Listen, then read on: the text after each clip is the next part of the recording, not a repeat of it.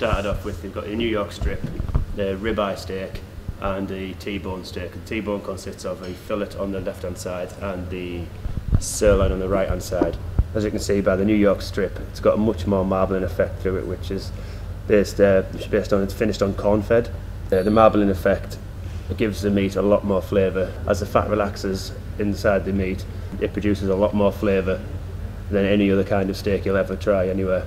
So start off just by putting it on the grill, season it, then put it on the grill so you get the bar marks.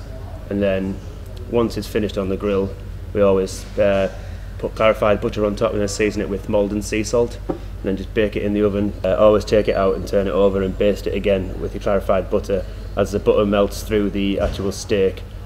Now they're in the oven slow cooking with the New York strip. Uh, I'll take it to one side, put it on the grill, get the bar marks on the grill, same routine again, clarified butter, Maldon sea salt.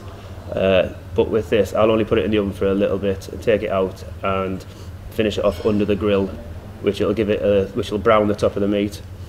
Once that's finished, once that's finished cooking, I'll take it off, put it to one side, leave it to rest for two to three minutes. Take the T-bone and the ribeye out of the oven, put them under the lights just to rest so the meat's not tense and so you leave it under the lights to relax.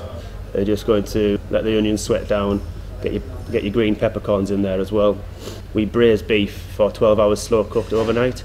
Uh, the actual liquor from there we reduce down with port and red wine and some herbs. Whilst that's reducing down, you add your cream, turn the heat down. We don't cut the T-bone as it's got um, as it is a T-bone. It's got the big bone through the middle, uh, and customers generally like to see the whole T-bone on the plate.